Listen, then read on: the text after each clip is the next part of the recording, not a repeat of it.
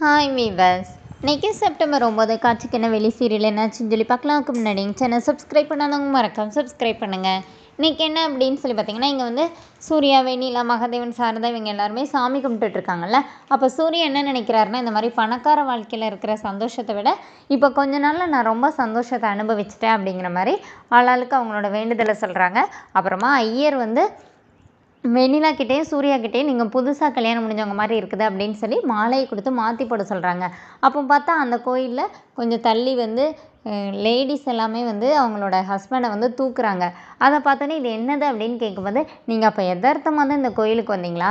இந்த கோயிலில் வந்து எப்படின்னா தங்களோட மாங்கல்யம் வந்து நிலைக்கணும் அப்படின்னு சொல்லிட்டு சாமி கும்பிட்டுட்டு அவங்களால முடிஞ்ச இந்த அளவுக்கு அவங்க வீட்டுக்காரரை வந்து தூக்கணும் அப்படிங்கிற மாதிரி அந்த ஐயர் வந்து சொல்கிறாரு இப்போ உடனே சூர்யா வந்து வெண்ணிலா வம்பு இழுக்கிறாரு. நீ என்னை தூக்கிடுவியா உனக்கும் வந்து இந்த மாதிரி மாங்கல்யத்தெல்லாம் காப்பாற்றணும் இல்லைன்னொடனே நான் ஒன்றுக்கு ரெண்டு வாட்டி கட்டியிருக்கேம்மா. கொஞ்சம் யோசித்து எதனாச்சும் வைங்க அப்படின்னோடனே இப்போ வெண்ணிலா என்ன சொல்கிறாங்கன்னா ஏன் என்னால் தூக்க முடியாதா? நான் தூக்கிடுவேன் அப்படின்னோடனே சரின்னு சொல்லிட்டு இவங்க எல்லாரும் அங்கே போய் நிற்கிறாங்க அப்போ வெண்ணிலா தூக்குறதுக்கு ரெடி ஆகுறாங்க. வார்ம் அப்லாம் பண்ணுறாங்க இதை பார்த்தோன்னே சூர்யா கிண்டல் பண்ணுறாரு என்ன வார்ம் அப் பண்ணுறியா அப்படின்னு சொல்லிட்டு.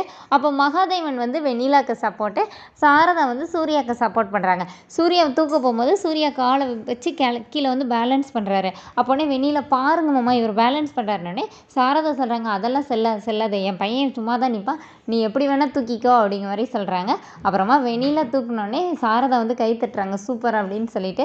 உடனே மகாதேவன் வந்து என்ன? அவள் தூக்க தூக்குனோடனே எங்கள் எங்கள் கேங்குக்கு சேர்ந்துக்கிறியா? அப்படிங்கிற மாதிரி ரெண்டு பேரும் ஜாலியாக பேசிகிட்டு இருக்காங்க வெண்ணிலா சூர்யா ஒரு நிமிஷத்துக்கு தூக்கி வைக்கிறாங்க. அப்புறமா சூர்யா வெண்ணிலாவை தூக்கிட்டு சுற்றுறாரு நான் நீ எனக்கு ஒரு வாட்டி தாலி கட்டியிருக்கல என் தாலியும் ப- நிலைக்கணும்ல அப்படின்னு சொல்லிட்டு பேசிக்கிறாங்க. அப்புறமா ஒரு இடத்துல உட்காந்து மூணு பேரும் சாரதா மகாதேவன் வெண்ணிலா மூணு பேருமா தேங்காய் உடைச்சி சாப்பிட்டுட்ருக்காங்க. இப்போ உடனே வெளியில் என்ன சொல்கிறாங்கன்னா என்ன மேம் அப்படின்னு சொல்லிடுறாங்க. இல்லை இல்லை. சில நேரம் அப்படி வந்துடுதுன்னு சொல்லிவிட்டு அப்புறமா என்னத்தை நீங்களும் மாமாவை தூக்கியிருக்கலாம்ல பாருங்க மாமா எவ்வளோ சோகமாக இருக்கிறாருன்னொடனே இவரை சோகமாக இருக்கிறாரு.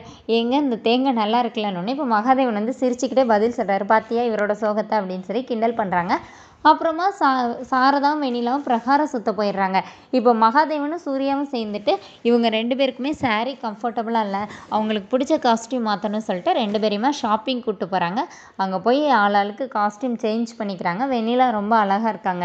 இப்போ சாரதா வந்து வெக்கப்படுறாங்க. வெளியில் வர மாட்டேங்கிறாங்க வெண்ணிலா போய் பிடிச்சி இழுத்துட்டு வராங்க அதோடு என்னோட எபிசோட் பண்ணிட்டாங்க. நெக்ஸ்ட் வீக் என்ன அப்படின்னு சொல்லி பார்த்தீங்கன்னா இவங்க வந்து அந்த பேராஷூட்டில் வந்து பறக்கிறாங்களா அந்த சீன் தான் நாளைக்கு. Next week thank you